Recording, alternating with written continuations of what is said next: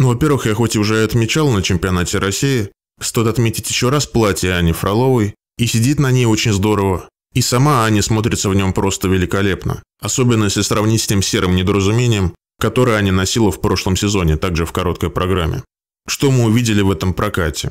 Ну, то, что спотыкнулось, это не так важно. Но до сих пор видно, что фигуристке не хватает скорости и раскрепощенности. Также не хватает скорости на выездах с прыжков. Сами прыжки тот же Ридбергер выглядят немного в натяжку и тяжеловато. Каскад в этот раз здорово получился, но опять же скорость на выезде могла бы быть побольше. Чтобы за подобный каскад можно бы было ставить жирное ГОЕ. На протяжении всей программы была вот эта скованность, аккуратность и как бы замедленная скорость. Но, несмотря на все это, как мы уже с вами говорили, у этой фигуристки замечательное мягкое скольжение, кошачье скольжение.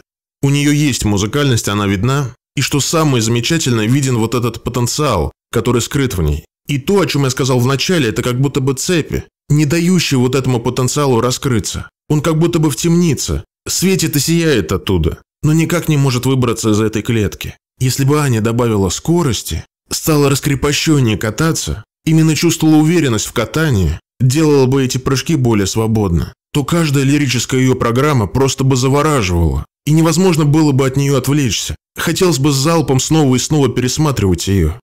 Что интересно, в прошлом сезоне в произвольной программе на одном из этапов Кубка России у Ани получился подобный прокат. В той произвольной программе она как будто бы летала. Все получалось, не было никакой тяжести. Если ей удастся улучшить владение коньком, добавить скорости, стать раскрепощенной в катании и добавить скорости на вращениях, то это будет сказка на льду, потому что все остальное у нее есть. Так что да, конечно, прокат получился немного тяжеловатым, чувствовалась какая-то медлительность в прокате, как будто бы все гораздо медленнее, чем нужно. Но тем не менее, за счет вот этой музыкальности Ани и ее мягкого скольжения, эта программа все равно получилась замечательной.